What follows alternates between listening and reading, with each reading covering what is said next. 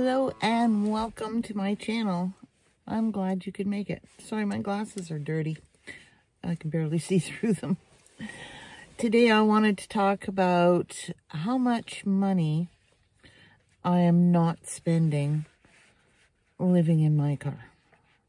I know it sounds kind of weird, but we're going to tackle the rent. The average rent for a one bedroom apartment in the town where I'm currently working is fifteen ninety three. So it's one thousand five hundred and ninety three dollars a month. Now I've been living in my car for two years plus. So I just rounded it off to two years.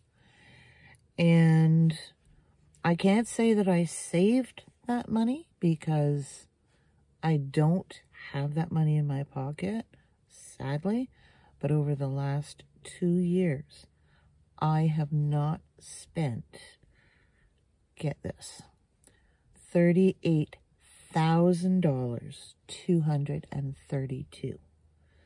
$38,232 has not come out of my pocket into a landlord's pocket. And now I'm thinking, I wish I could have saved that money. but I started thinking that would be really nice. What I have actually saved, actually physically in my hand saved, is about $1,800 yeah, since last September. So it's September, October, November, December, January, February. So in what was that, six months, I've managed to save $1,800. Literally, in my hand. That's what I call saving. And I have not spent $38,000. And I'm going, yeah, this is worth it. I could have taken some of that money that I didn't spend and put it more to savings if I didn't have a loan on this car or I didn't have to eat out all the time. That's my two biggest expenses are my food and my car.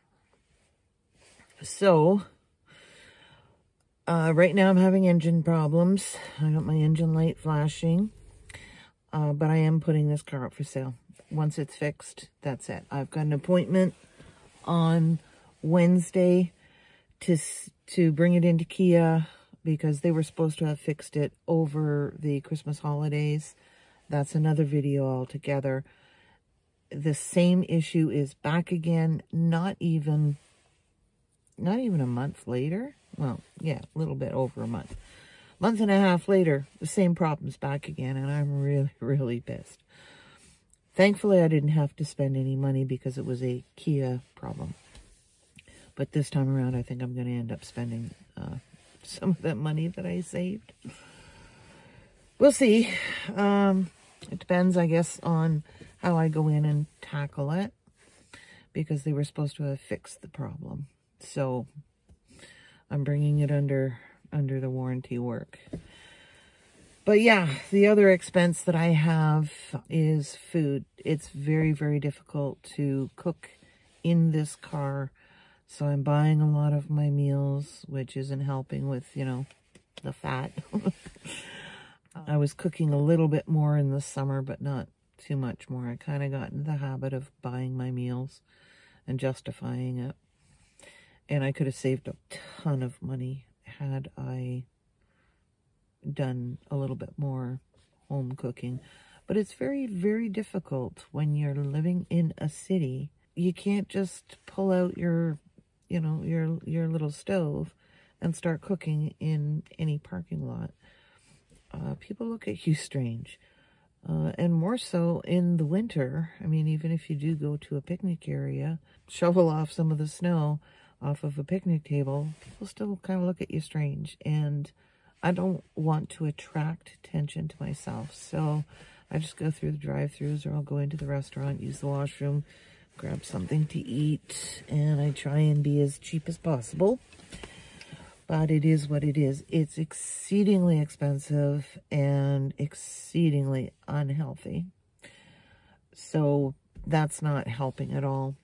But once I sell this car, I'm buying my my bus. I'm definitely buying my bus. I'm determined to get the bus this year.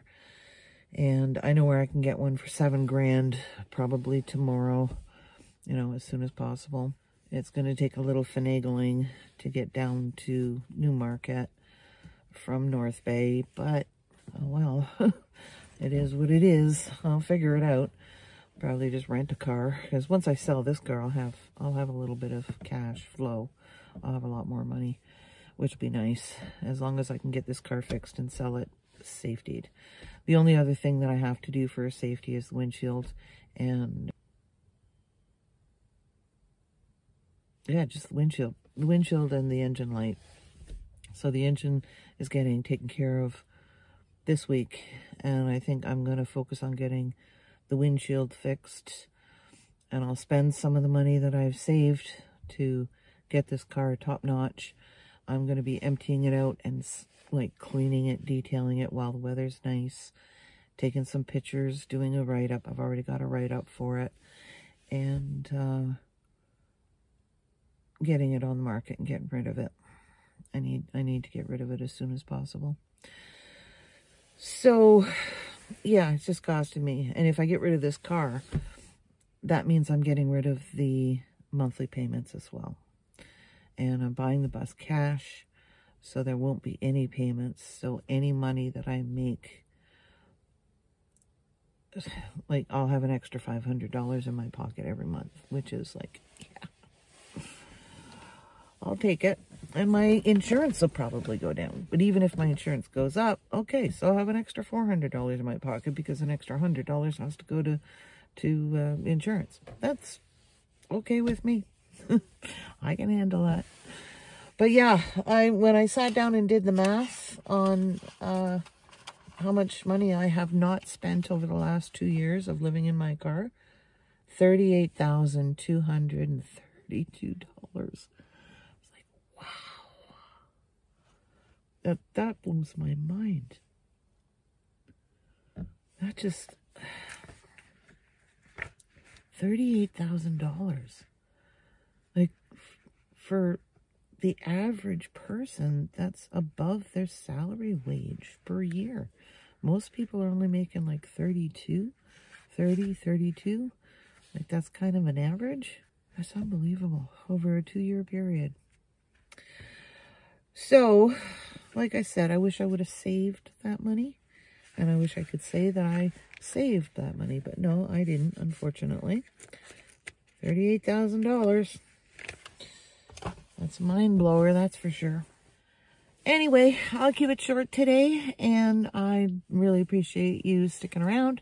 And we will talk to you later. Don't forget to like and subscribe. Give me a thumbs up. Thanks. Have a great day. Bye.